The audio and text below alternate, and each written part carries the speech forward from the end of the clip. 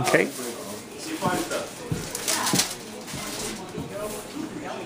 I uh, I grew up with a lot of creative people, and like, although we're all kind of